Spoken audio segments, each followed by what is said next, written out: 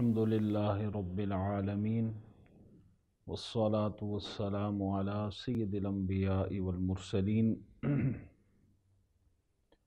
वाला आलिहि वसहाबिहि अजमाइन सामीन नाजरीन सीरतुलनबी सल्लल्लाहु ताला अलैहि वसल्लम के उनवान पर एक नए दर्स के साथ आपकी खिदमत में हाज़िर हैं। गुज्त दर्स में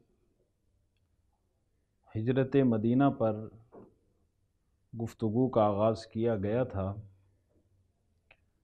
हज़रत मदीना के हवाले से चंद इब्तदाई बातें गुज्त गुज्त दर्स में बयान की गई।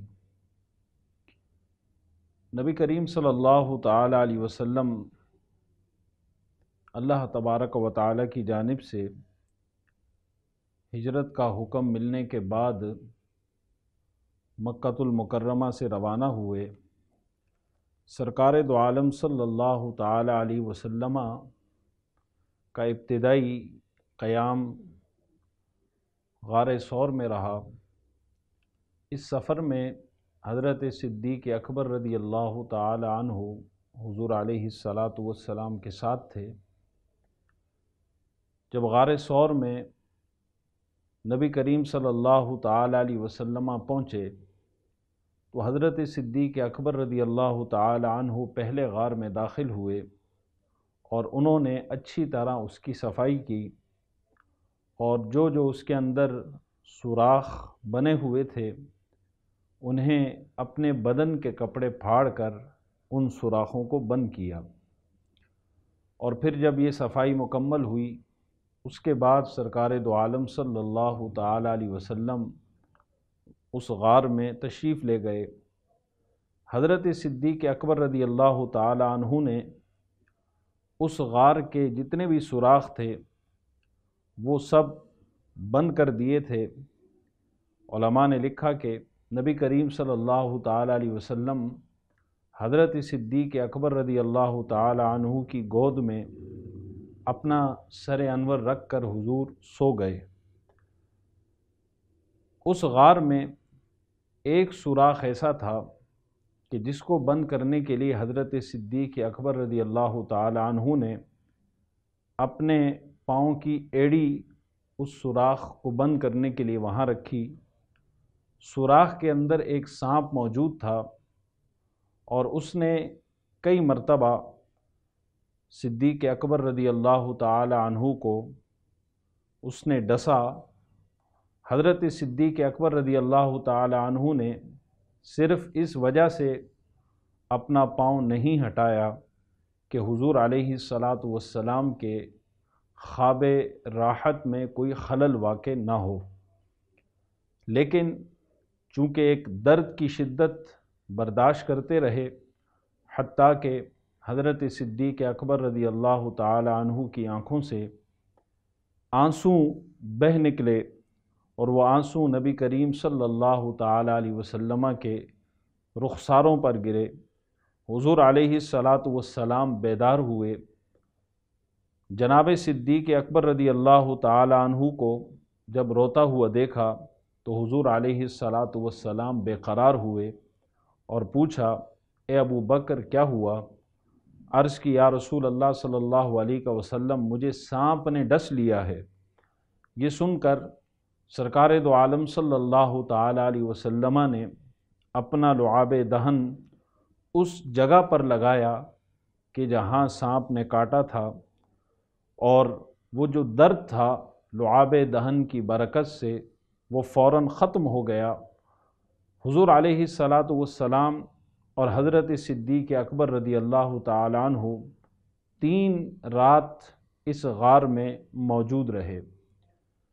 हज़रत सिद्दीक़ अकबर रदी अल्लाह तु के फ़र्जन हज़रत अब्दुल्ला रदी अल्लाह तु रात को गार के मुँह पर सोते और सुबह सवेरे मक्का चले जाते और सारा दिन मक्का में गुजारते और वहाँ पर जो भी इस हवाले से ख़बरें गर्दिश कर रही होती, वो सारी ख़बरें सुनकर शाम को आते और वो सारी ख़बरें हुजूर अलैहिस्सलात वस्सलाम की बारगाह में पेश करते।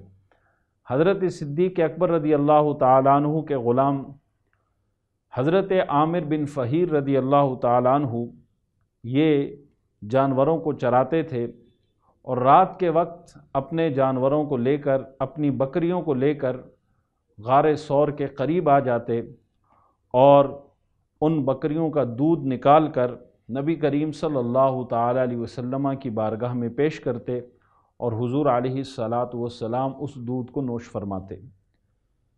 नबी करीम सल्लल्लाहु अलैहि वसल्लम जब गार सौर में तशरीफ़ फरमा हुए तो इधर मक्का में कुफ़ार ने जो हुजूर के काशाना अकदस का मुहासरा किया हुआ था, जब सुबह हुई तो उन काफिरों ने देखा कि नबी करीम सल्लल्लाहु अलैहि वसल्लम के बिस्तर पर हज़रत अली करमल्ला ताला करीम आराम फरमा हैं। उन काफिरों ने हज़रत अली से हुजूर के बारे में पूछताछ की, हुजूर के बारे में पूछा, लेकिन हज़रत अली करमल्ला ताला वजहुल करीम ने उन्हें कुछ न बताया। उन्होंने इधर उधर तलाश किया, लेकिन जब वो नाकाम रहे तो उन्होंने हज़रत अली रदी अल्लाह तहु को छोड़ दिया। कुफ़ार मक्का हुजूर सलाम को जगह जगह तलाश करते रहे। शहर मक्का का चप्पा चप्पा उन्होंने छान डाला। हर जगह हुजूर को तलाश किया। और हुजूर को तलाश करते करते वो गार सौर की तरफ़ भी आए। लेकिन अल्लाह तबारक व ताली ने हिफाजत का एक ऐसा मज़बूत इंतज़ाम किया और वो इंतज़ाम ये था कि गार सौर के धाने पर मकड़ी ने जाला बुन दिया और वहाँ पर एक कबूतर ने घोंसला बनाकर उसमें अंडे भी दे दिए। सिर्फ़ यही बताने के लिए कि ये गार गोया के एक अरसा दराज से बंद है, इसमें कोई दाखिल ही नहीं हुआ। लेकिन दर हकीकत ये हिफाजत का एक खुदाई इंतज़ाम था, जो अल्लाह की जानब से किया गया था। कुफार मक्का जब गार सौर के धाने पर पहुँचे तो कदमों की आहट हज़रत सिद्दीक़ अकबर रदी अल्लाह तु ने सुनी तो घबरा गए, परेशान हुए मेरे आका सल्लल्लाहु अलैहि वसल्लम ने उन्हें तसल्ली दी और वो अल्फाज कुरान का हिस्सा हैं, दसवें पारे में मौजूद हैं। हुजूर ने फरमाया कि, ला तहज़न इन अल्लाह माना कि मत घबराओ, बेशक अल्लाह हमारे साथ है। हुजूर अलैहिस्सलाम की ज़ुबान मुबारक से जब ये अल्फाज हज़रत सिद्दीक़ अकबर रदी अल्लाह तु ने सुने तो उनको तसल्ली हासिल हो गई इत्मीनान हासिल हो गया और जो खौफ दिल में मौजूद था, वो ख़त्म हो गया। नबी करीम सल्लल्लाहु अलैहि वसल्लम और हज़रत सिद्दीक़ अकबर रदी अल्लाह तु तीन रातें गार सौर में इन्होंने गुजारी और फिर चौथे दिन हुजूर अलैहिस्सलातु वस्सलाम इस गार से बाहर तशरीफ़ लाए। और ये यकम रबीउल अव्वल की तारीख़ थी जब हुजूर अली सलात उस गार से बाहर तशरीफ़ लाए। अब्दुल्ला बिन अरीक़त, जिसको रहनुमाई के लिए किराए पर हासिल किया गया था, वो हसब वादा दो ऊँटनियाँ लेकर वहाँ पहले से मौजूद था। एक ऊँटनी पर सरकार दो आलम सल्लल्लाहु अलैहि वसल्लम सवार हुए और दूसरी ऊँटनी पर हज़रत सिद्दीक़ अकबर और उनके ग़ुलाम हज़रत आमिर बिन फ़हीरा रदी अल्लाह तु सवार हुए। और अब्दुल्ला बिन उरैक़त, वो जो शख्स था जिसका काम रहनुमाई करना था, वो ऊँटनी की मुहार पकड़ कर आगे चलने लगा। चूँकि अब एक सफ़र करना था और एक ऐसे रास्ते से जाना था कि कुफ़ार मक्का ताक़ुब न कर सकें तो सफ़र हिजरत के लिए आम रास्ते से हटकर एक अलग रास्ते का इंतखब किया गया ताकि कुफ़ार मक्का जो है वो ताक़ुब न कर सकें, गैर मरूफ रास्ते का इंतखब किया गया। इधर कुफ़ार मक्का ने यह ऐलान कर रखा था कि जो उन्हें पकड़ कर लाएगा, उसे सौ ऊँट इनाम में दिए जाएँगे। ज़ाहिर है, एक बहुत बड़ी रकम थी, एक बहुत बड़ा लालच था जो उनको दिया गया तो इस इनाम की लालच में कई लोगों ने हुजूर अलैहिस्सलातु वस्सलाम का पीछा किया। लेकिन सब नाकाम रहे। इस सफ़र में उम्म माबत से हुजूर अलैहिस्सलातु वस्सलाम की मुलाकात हुई। मकाम कदीद एक मकाम है। वहाँ पर उम्म माबत नामी एक ख़ातून का मकान था। उसका खेमा था। एक बूढ़ी ख़ातून थी। नबी करीम सल्लल्लाहु अलैहि वसल्लम का जब गुज़र हुआ इनके मकान के पास से तो नबी करीम सल्लल्लाहु अलैहि वसल्लम ने इनसे कुछ ख़रीदने का कस्त किया। चूँकि उम्म माबद का जो मकान था, वो रास्ते में था तो जो भी मुसाफिर वहाँ से गुज़रता तो ये उसकी हसब इस्तात खिदमत किया करती थी। तो नबी करीम सल्लल्लाहु अलैहि वसल्लम ने इनसे कुछ ख़रीदने का कष्ट किया तो उनके पास उस वक़्त कोई चीज़ मौजूद न थी। उस मकान या उस खैमे की एक जानब एक बकरी बंधी हुई थी, जो बहुत ही लागर और कमज़ोर थी। दरियाफ्त किया गया उस उम्म माबद से, क्या ये बकरी दूध देती है? तो उम्म माबद ने कहा कि, नहीं, ये इतनी कमज़ोर है कि ये दूध नहीं देती। तो नबी करीम सल्लल्लाहु अलैहि वसल्लम ने फरमाया कि अगर आपकी इजाज़त हो तो मैं इसका दूध निकाल लूँ। उम्म माबद ने इजाज़त दे दी।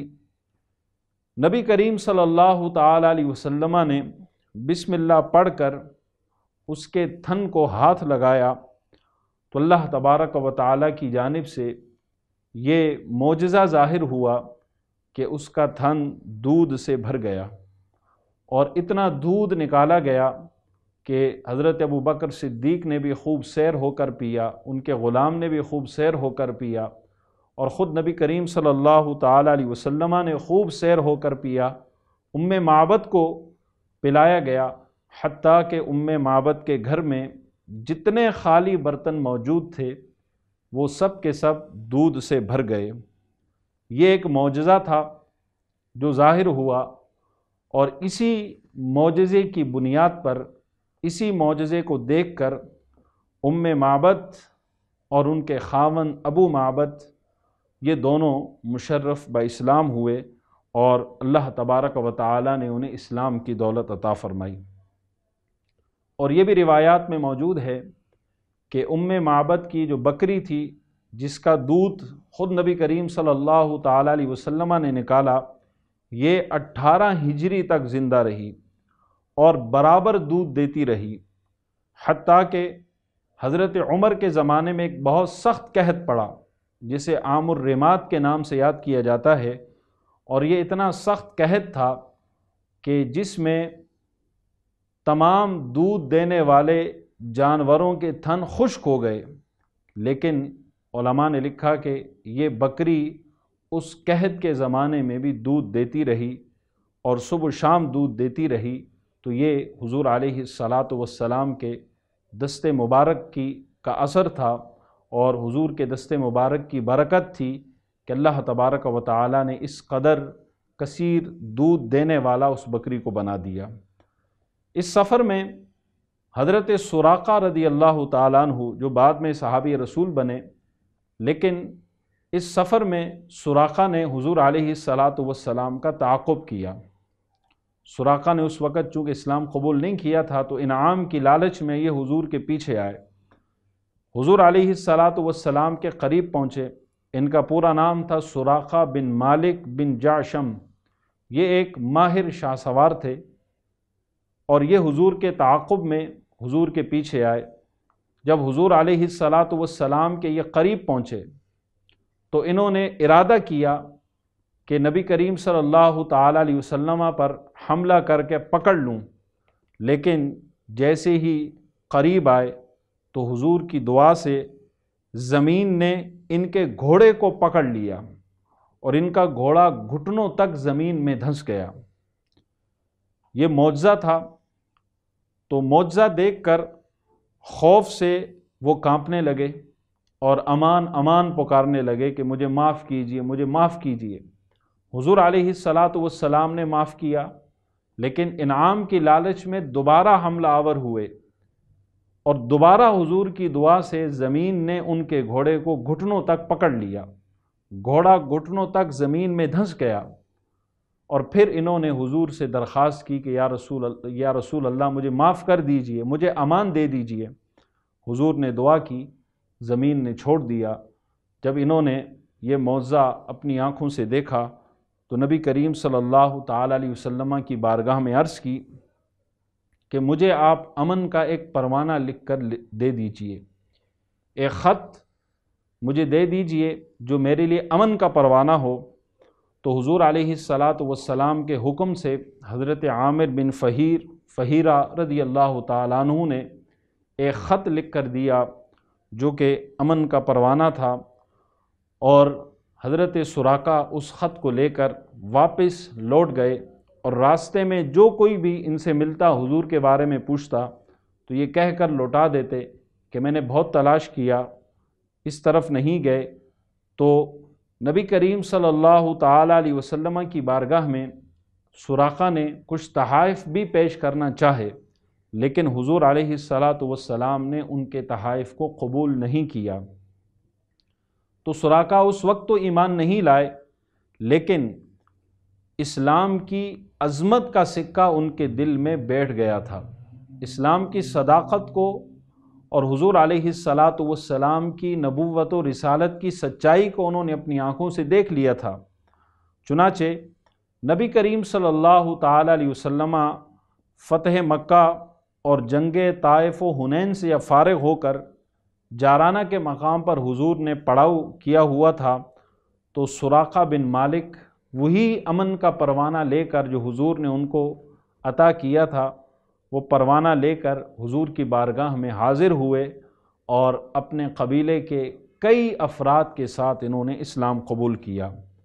और ये वही सुराखा बिन मालिक हैं कि मेरे आका सल्लल्लाहु अलैहि वसल्लम ने जिन्हें अपने इल्म गैब से ये ख़बर देते हुए इरशाद फरमाया था कि, ए सुराका, उस वक़्त तेरा क्या हाल होगा कि जब तुझे मुल्क फ़ारस के बादशाह किसरा के दोनों हाथ के कंगन पहनाए जाएँगे?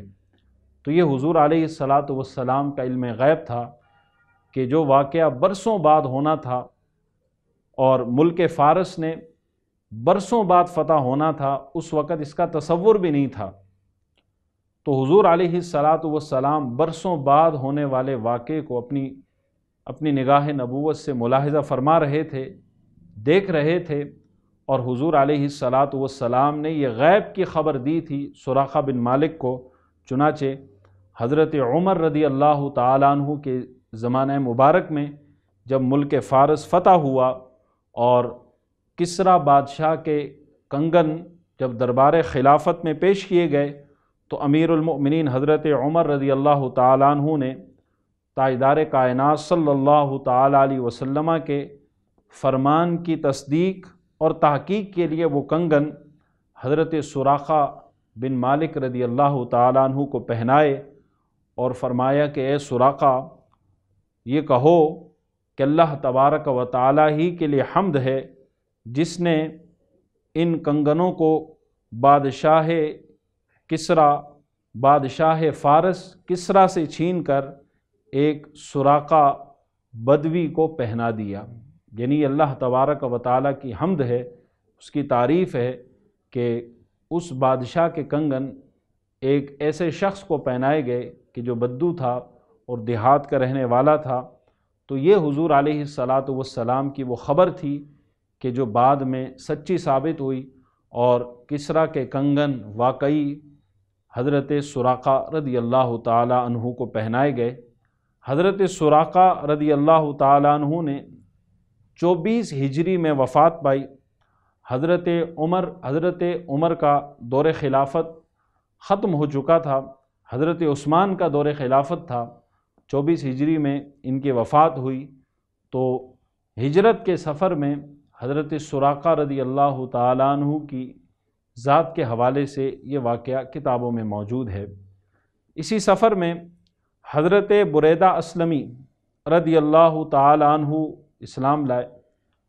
हज़रत बुरैदा असलमी रदी अल्लाह तु कबीलाए बनु सहम से ताल्लुक़ रखते थे और ये अपने कबीले के सत्तर सवारों के साथ इनाम की लालच में नबी करीम सल्लल्लाहु अलैहि वसल्लम को पकड़ने के लिए ताक़ब में आए और ये वही इनाम का लालच था कि सौ ऊँट मिल जाएँगे। मगर जब नबी करीम सल्लल्लाहु अलैहि वसल्लम के सामने आए तो हुजूर अलैहिस्सलात वस्सलाम से इन्होंने पूछा कि आप कौन हैं? तो मेरे आका सल्लल्लाहु अलैहि वसल्लम ने फरमाया कि मैं मोहम्मद बिन अब्दुल्ला हूँ, मैं खुदा का नबी और रसूल हूँ। ने लिखा कि जमालो जलाल नबूवत ने उनके दिल पर एक ऐसा असर छोड़ दिया कि फ़ौर उन्होंने कलमा पढ़ा और इस्लाम के दामन में आ गए। तो ये हुजूर सलात वसलाम का ये भी एक मुआजा था कि सिर्फ़ आपके जवाब ने सामने वाले के दिल पर इतना असर डाला कि उसके दिल में इस्लाम की जो मोहब्बत थी, वो उतरती चली गई। तो इन्होंने इस्लाम कबूल किया।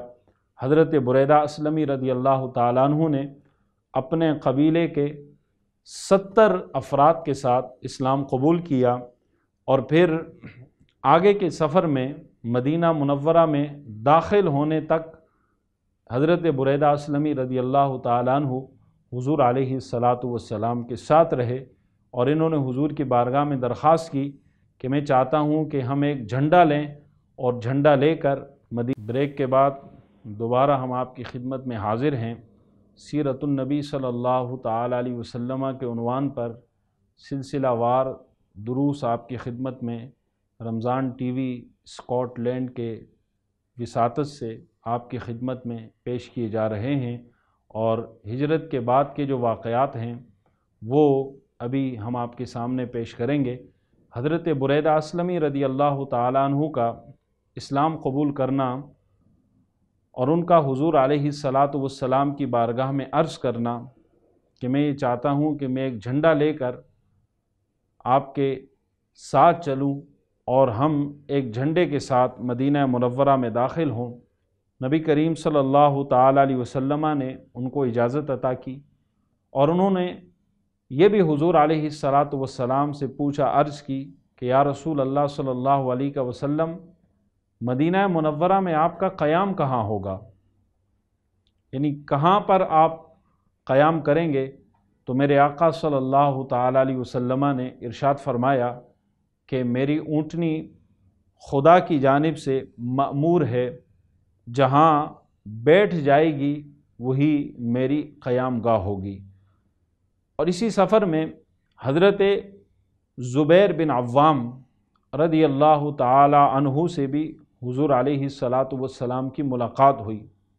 और ये हुजूर सलात वसलाम की फूपी हज़रत सफ़िया रदी अल्लाह तहा के बेटे हैं, साहबजादे हैं, ये मुल्क शाम से तिजारत करके वापस लौटे थे कि रास्ते में इनकी हुजूर सलाम से मुलाकात हो गई।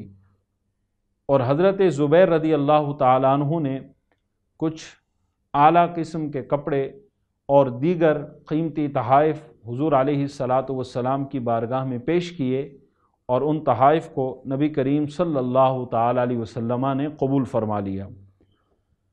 नबी करीम सल्लल्लाहु अलैहि वसल्लम का ये जो सफ़र था, ये जारी उसारी था और इधर मदीना मुनवरा में ये ख़बर पहुँच चुकी थी कि हुजूर अलैहिस्सलात वस्सलाम तशरीफ़ लाने वाले हैं।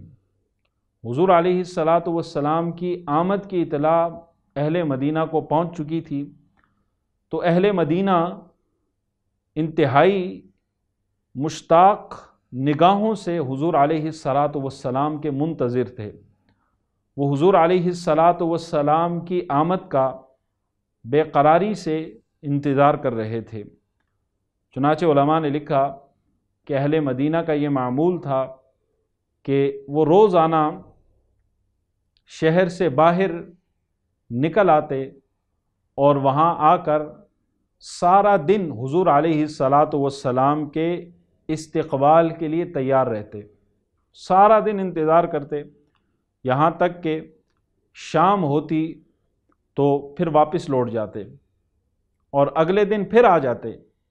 और इसी तरह एक दिन अपने मामूल के मुताबिक अहल मदीना इंतज़ार कर रहे थे और इंतज़ार करके जब वो वापस लौटने लगे तो एक यहूदी ने जो अपने किले पर चढ़ा हुआ था, उसने अपने किले से हुजूर अलैहिस्सलाम को आते हुए देख लिया। नबी करीम सल्लल्लाहु अलैहि वसल्लम की सवारी उसने देखी। तो उसने बुलंद आवाज़ से पुकार कर कहा कि, ए अहले मदीना, जिनका रोज़ाना तुम इंतज़ार करते रहे, वो कारवान रहमत आ गया है। ये सुनकर तमाम अंसार बदन पर बदन बदनों पर हथियार सजाकर वजदो शादमानी से बेकरार होकर दोनों आलम के ताजदार सल्लल्लाहु अलैहि वसल्लम का इस्तकबाल करने के लिए अपने घरों से निकल पड़े और नारा तकबीर से शहर की जो फ़िज़ा थी वो गूंज उठी। शहर के दरो दीवार गूंज उठे। मदीना मुनव्वरा से तीन मील के फासले पर जहाँ आज मस्जिद क़ुबा है, नबी करीम सल्लल्लाहु अलैहि वसल्लम बारह रबी अव्वल को मदीना मुनव्वरा के करीब जो बस्ती है, जहाँ मस्जिद क़ुबा है, वहाँ हुजूर अली सलात वसलाम रौनक अफरोज़ हुए। और यहाँ पर जो कबीला आबाद था, कबीला अमर बिन औफ आबाद था, इस कबीले में हज़रत कुलसूम बिन हदम रदी अल्लाह तहु के मकान में हुजूर तशीफ़ फरमा हुए। यानी सबसे पहले मेज़बानी का शरफ़ अल्लाह तबारक व ताली ने हज़रत कुलसूम बिन हदम रदी अल्लाह तहु को अता हुआ। तो ये पूरा ख़ानदान ही इस एज़ाज़ पर अल्लाह का शुक्र अदा कर रहा था कि दोनों आलम के मेज़बान उनके मेहमान बने और हर तरफ़ खुशी थी, हर तरफ़ शादमानी थी और अंसार हुजूर की बारगाह में हाजिर होकर सलातो सलाम के नजराने पेश कर रहे थे। और न सिर्फ़ हुजूर सलात वसलाम इनके मेहमान बने हज़रत कुलसूम बिन हदम के, बल्कि हुजूर सलात वसलाम की आमद से कबल जो सहाबा के कराम हिजरत करके तशरीफ़ लाए थे, अक्सर सहाबा भी इनके मेहमान बने हुए थे। तो हज़रत कुलसूम बिन हदम रदी अल्लाह तु का मकान, जहाँ हुजूर भी तशरीफ़ फरमा थे और हुजूर सलात के साथ हिजरत करने वाले कई सहाबा भी तशरीफ़ फरमा थे और हज़रत अली करमल्ला तजल करीम, जिनको हुजूर ने ज़िम्मेदारी दी थी कि तुमने अमानतें वापस करनी हैं और अमानतें वापस करके फिर तुमने मदीना आना है तो हज़रत अली करमल्ला करीम भी अमानतें वापस लौटा कर तीसरे दिन ही मक्का से चले और मदीना मुनव्वरा आ गए और उसी मकान में उन्होंने भी क़याम किया जहाँ हुजूर अलैहिस्सलातु वस्सलाम तशीफ़ फरमा थे। हज़रत कुलसूम बिन हदम रदी अल्लाह तु और इनके ख़ानदान के तमाम अफराद नबी करीम सल्लल्लाहु अलैहि वसल्लम सहाबा कराम की जो मेज़बानी थी, मेज़बानी का जो फरीज़ा है, वो अदा करते रहे और दिन रात हुजूर अलैहिस्सलात वस्सलाम और सहाबा कराम की खिदमत में मसरूफ़ अमल रहे। तो यकीनन हज़रत कुलसूम बिन हदम रदी अल्लाह तु का ख़ानदान और हज़रत कुलसूम बिन हदम रदी अल्लाह तु का ये एक एज़ाज़ था कि सैदुलम्बिया भी उनके मेहमान थे और अलिया के सरदार साहबा कराम भी उनके मेहमान बने हुए थे। गोया कि एक ऐसा समा बंद गया होगा कि गालिबा चाँद, सूरज और सितारे हैरत के साथ इस मजमे को देख कर ज़ुबान हाल से ये कहते होंगे कि ये फ़ैसला मुश्किल है कि आज अंजुमन आसमान ज़्यादा रोशन है या हज़रत कुलसूम बिन हदम का मकान ज़्यादा रोशन है कि जहाँ नबी करीम सल्लल्लाहु अलैहि वसल्लम भी मौजूद हैं, हुजूर के साथ सहाबा भी मौजूद हैं और ये पूरा कबीला ही कबीला है अमर बिन औफ। इस कबीले का बच्चा बच्चा मुस्कुरा मुस्कुरा कर और ज़ुबान हाल से गोया के ये नगमा गा रहा था और ज़ुबान हाल से गोया के ये शेर कह रहा था कि उनके कदम पर मैं निसार, जिनके कदूम नाज ने उनके कदम पर मैं निसार, जिनके कदूम नाज ने उजड़े हुए दयार को रश्क चमन बना दिया। तो ये हुजूर अलैहिस्सलातु वस्सलाम की ज़ात मुबारक थी कि जिनकी ज़ात से लोगों को ये एज़ाज़ हासिल हुए और लोगों को ये मकाम हासिल हुआ। नबी करीम सल्लल्लाहु अलैहि वसल्लम ने जब हिजरत की तो हिजरत के बाद, हिजरत का पहला साल, दूसरा साल, तीसरा साल इन सालों में कई फिर वाक़ात रुनमा हुए और कई अहम उमूर अंजाम दिए गए। हिजरत का जो पहला साल है, अगर इसकी बात की जाए तो हिजरत के पहले साल जो अहम काम अंजाम दिए गए, उनमें बुनियादी और पहला जो अहम काम था, जिसे हुजूर सलात वसलाम ने अंजाम दिया, वो मस्जिद क़ुबा की तामीर थी। नबी करीम सल्लल्लाहु अलैहि वसल्लम ने मदीना शरीफ आमद के बाद, जहाँ पहला क़याम किया कबीला अमर बिन औफ में, वहाँ हुजूर सलात वसलाम ने मस्जिद क़ुबा की बुनियाद रखी। और मस्जिद क़ुबा, ये हज़रत कुलसूम बिन हदम रदी अल्लाह तु की ज़मीन पर कायम की गई। ये जहाँ मस्जिद क़ुबा है, इस जगह पर अमर बिन औफ का जो कबीला था, ये अपनी खजूरें सुखाया करते थे। सरकार दो आलम सल्लल्लाहु अलैहि वसल्लम ने इस मकाम को मस्जिद के लिए पसंद फरमाया और जब मस्जिद की तामीर हुई तो ख़ुद नबी करीम सल्लल्लाहु अलैहि वसल्लम बनफ्स नफीस इस तामीर का हिस्सा रहे।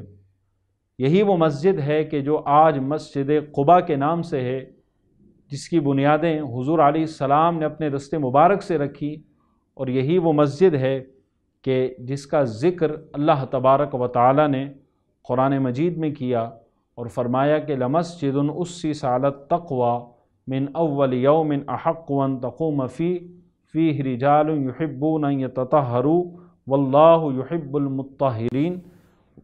अल्लाह ताला इरशाद फरमाता है कि यकीनन वो मस्जिद कि जिसकी बुनियाद पहले ही दिन से परहेज़गारी पर रखी गई।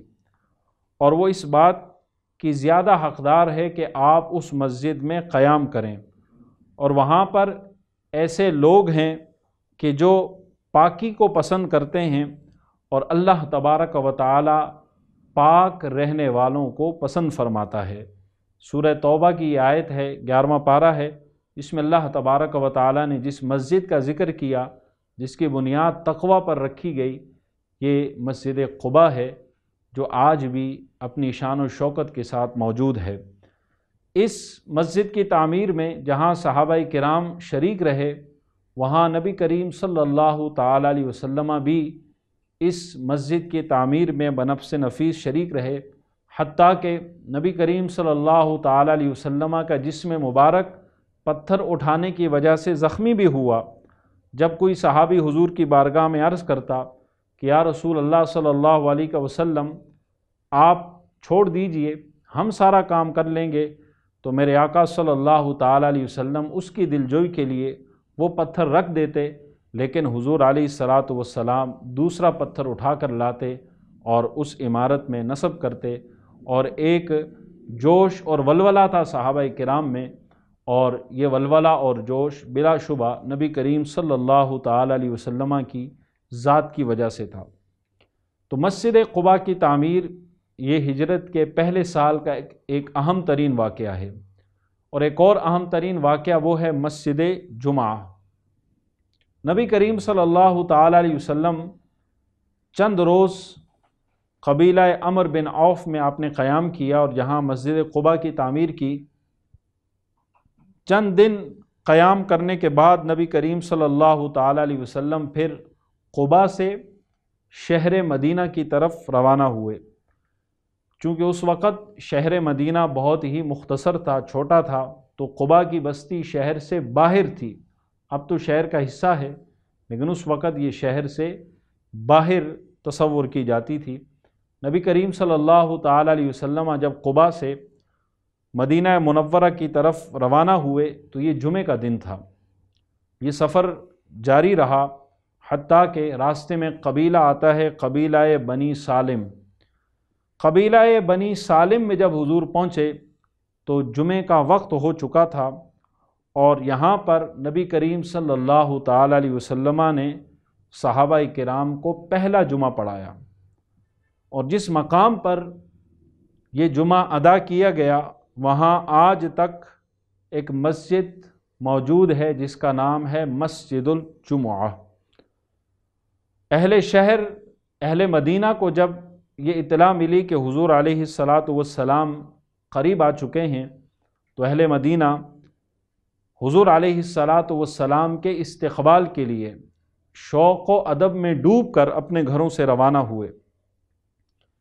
हुजूर अलैहिस्सलाम के दादा अब्दुल मुत्तलिब के नन्हाली रिश्तेदार बनु नज्जार अपने जिस्मों पर हथियार सजाए कुबा से लेकर शहर मदीना तक दो रोया सफ़े बनाए खड़े थे और हुजूर अलैहिस्सलात वसलाम का शुक्रिया अदा कर रहे थे, इस्तकबाल कर रहे थे और शुक्रिया अदा कर रहे थे हुजूर सलाम का और नबी करीम सल्लल्लाहु अलैहि वसल्लम भी सबको दुआओं से नवाज़ रहे थे।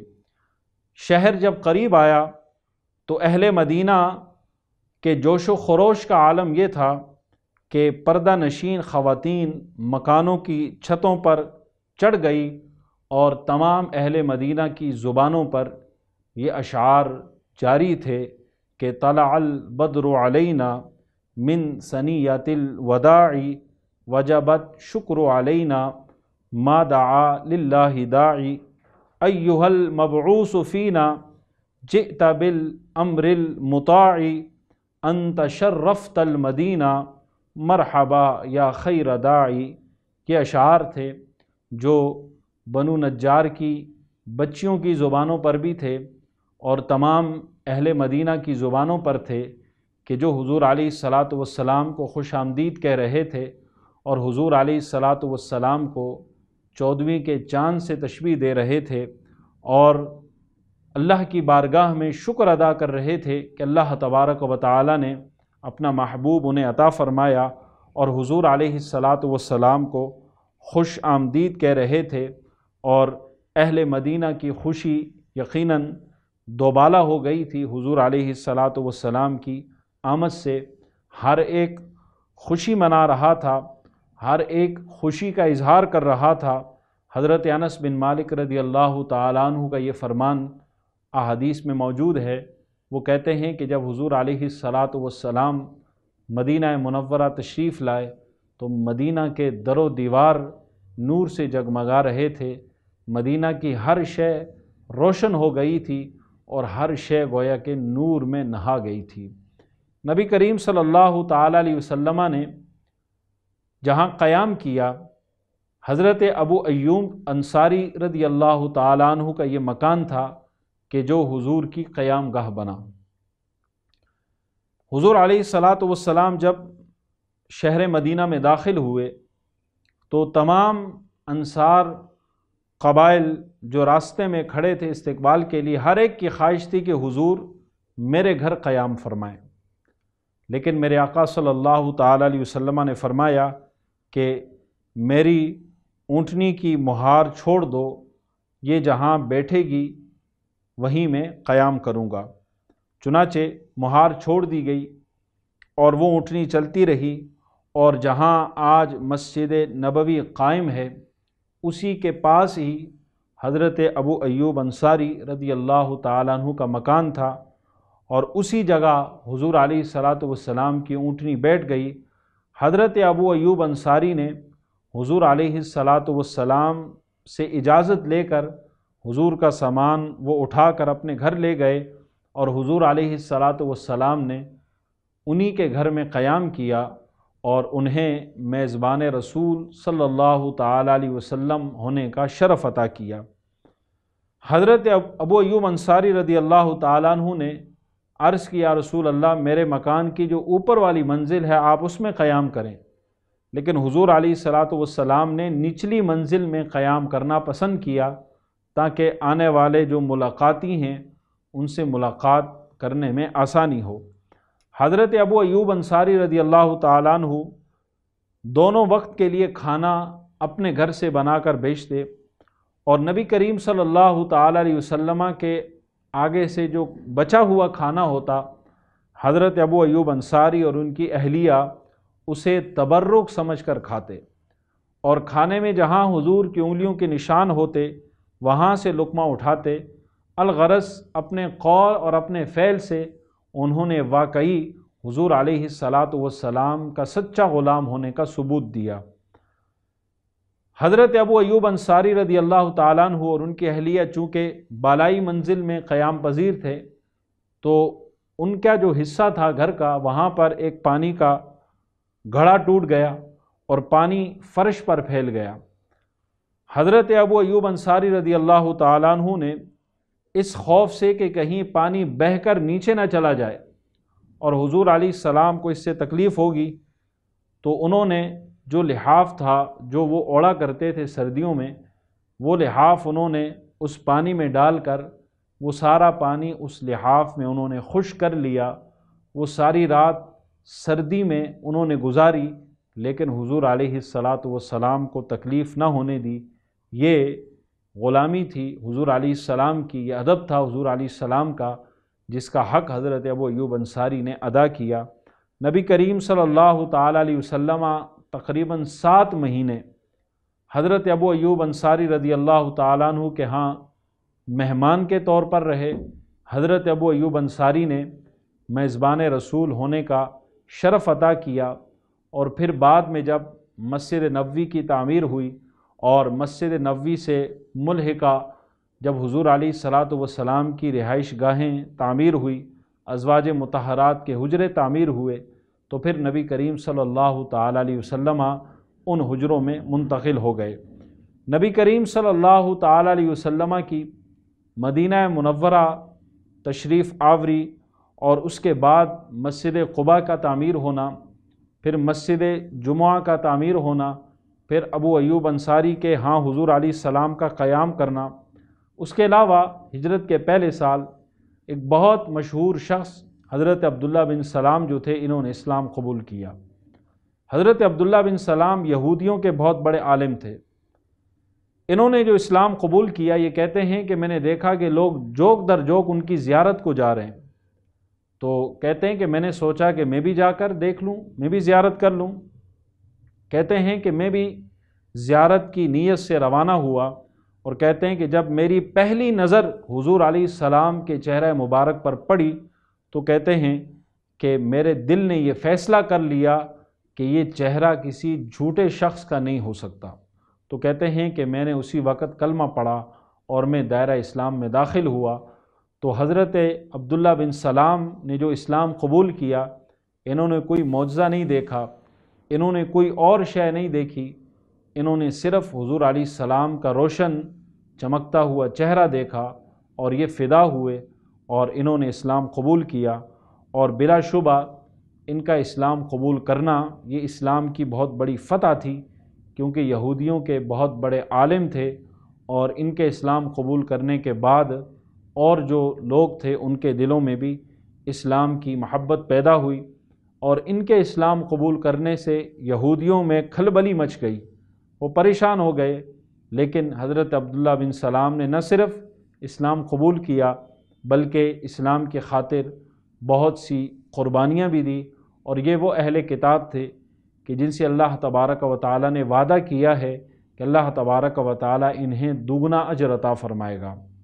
एक अजर तो वो जो ये अपनी किताब पर ईमान लाए और एक अजर कुरान पर ईमान लाने का इन्हें दुगना अजर मिलेगा तो हज़रत अब्दुल्ला बिन सलाम भी हिजरत के पहले साल इस्लाम लाए और हिजरत के पहले साल मस्जिद नबी की तामीर भी हुई और मज़ीद भी कई वाक़ात रुनमा हुए। उसकी तफसीत लेकर इन हम आपके साथ, आपके सामने एक नए दर्स के साथ हाजिर खिदमत होंगे।